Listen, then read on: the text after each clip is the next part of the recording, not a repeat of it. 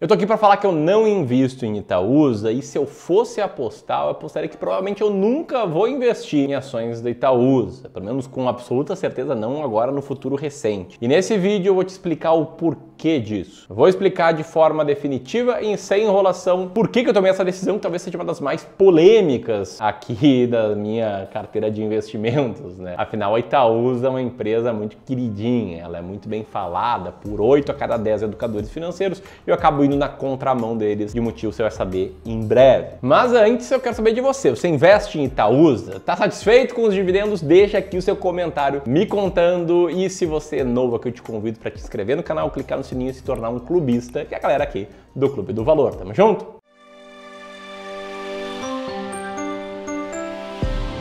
Então bora lá, tá? É, é fato que eu não invisto em Itaúsa. Eu, Ramiro, sou gestor profissional de investimento, sou cofundador do Clube do Valor. A gente tem aí algo próximo de 600 milhões de reais em patrimônio sob gestão e nenhum centavo é investido em Itaúsa.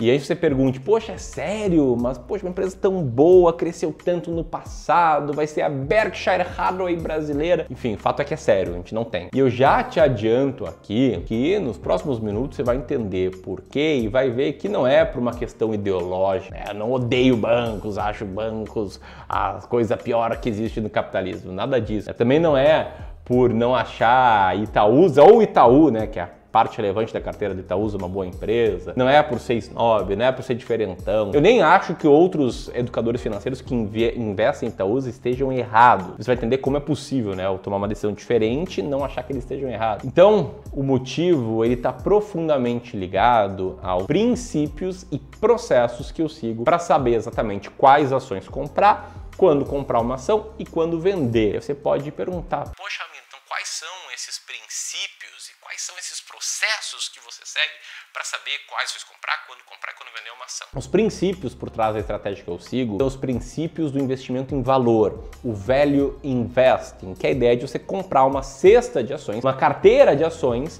de empresas que estejam sendo negociadas provavelmente a um preço abaixo do seu real valor. Claro, em mercado financeiro e investimento a gente não tem uma bola de cristal, mas a gente tem a estatística e formas da gente chegar em empresas que possivelmente na média estejam ser negociadas aí com desconto. E se isso for verdade, se elas na média estiverem sendo negociadas com desconto, a gente na média vai ter resultados melhores. E eu faço isso com um processo de duas etapas. O primeiro é filtragem de ações e o segundo é seleção de ações. Então a gente começa lá com as mais ou menos 500 ações que tem, que tem na bolsa de valores e a gente filtra dessas 500 ações, todas aquelas que não têm uma negociabilidade mínima, pelo menos um milhão de reais de liquidez média diária. A gente filtra também empresas que não têm resultado operacional, que não têm enterprise value, e a partir daí a gente seleciona 20 diferentes ações que têm o maior lucro operacional em relação ao total enterprise value. Esse é o processo que eu vou mostrar passo a passo, botão por botão, qual é a lógica, né? Qual assim do ponto zero ao ponto de você saber exatamente quais são as 20 ações mais baratas da bolsa, num evento online gratuito,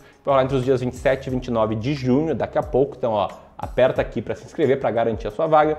E nesse evento, no dia 28, eu vou abrir as vagas oficialmente do meu curso de investimento em ações, o Descomplicando o Mercado de Ações. Beleza? Importante você entender aqui que esse método me faz chegar em 20 ações, como num ranking como esse que aparece na tela, que meus alunos têm acesso, e aí a gente seleciona as 20 mais baratas para ter na carteira. E que além de trazer um maior potencial de retorno, esse método me traz clareza absoluta para saber quais ações comprar, quando comprar e quando vender. E os resultados do método, eles foram comprovados aí no teste do tempo, né? numa simulação que a gente fez, olhando historicamente entre 1996 e 2021, o resultado dessa estratégia, o que a gente tem é isso, um retorno absurdo. Tá? Que mesmo se a gente tirar o efeito da inflação, como nesse segundo gráfico, o que a gente vê é que cada mil reais investidos na estratégia teria se transformado em mais ou menos 118 mil reais. Ou seja, uma multiplicação em 118 vezes o capital investido acima da inflação. Claro, isso aqui não é fácil, nem é rápido,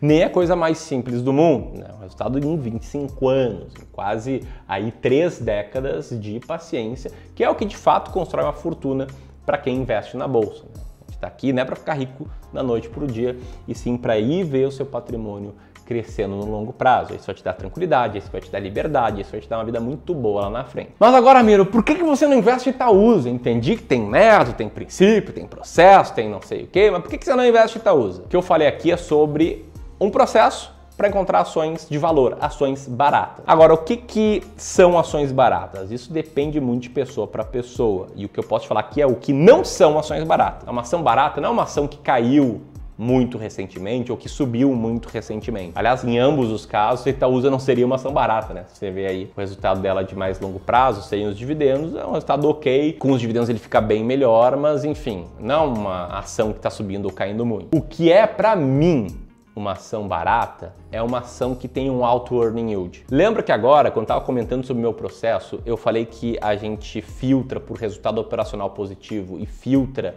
por enterprise value? A gente faz isso porque a gente seleciona as 20 ações com maior resultado operacional em relação ao total enterprise value. E aí entra um fator de Itaúsa, que é o seguinte, o grosso da carteira de Itaúsa hoje são ações do Itaú. O Itaú é um banco, assim como o Banco do Brasil, assim como Santander, Bradesco, Nubank, etc. E bancos não têm o resultado operacional que nem uma empresa normal. Não tem a linha, do, a linha no DRE chamada EBIT, que seria né, o que a gente usa para transformar em resultado operacional. E mesmo que a gente fosse lá, olhasse cada uma das ações de cada um dos bancos, analisasse ali o DRE e tentasse encontrar qual é o caixa gerado pela operação dos bancos, a gente esbarraria em outro problema, que eles não têm Total Enterprise Value. O que é o Total Enterprise Value?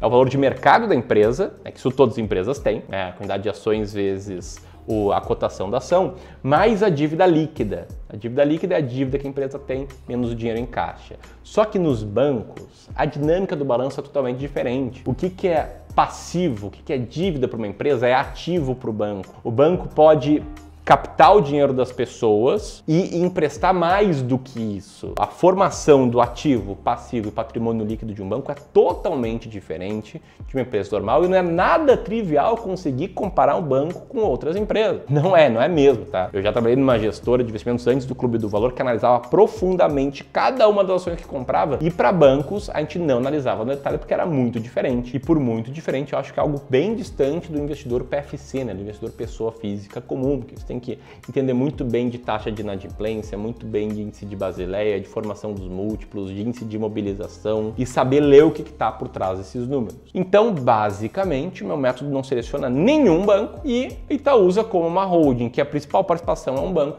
acaba também ficando de fora. Por isso que outras pessoas que têm Itaúsa não necessariamente estão errados. O que está errado é investir sem ter um método. Esse cara que investe sem método não vai ter resultado nunca. Tem que ter um método, tem que ter um passo a passo para saber quais ações você vai comprar. Se você concorda comigo, faz sentido? Se faz sentido, deixa o like aqui nesse vídeo, comenta sobre o teu método, se você quiser se aprofundar no meu método, que pode ser uma forma de selecionar ações para toda a sua carteira de ações ou para parte dela, quem sabe, as ações mais baratas da bolsa Vem aí a partir do dia 27 de junho, para quem tiver inscrito, o link está aqui. Um grande abraço e até a próxima.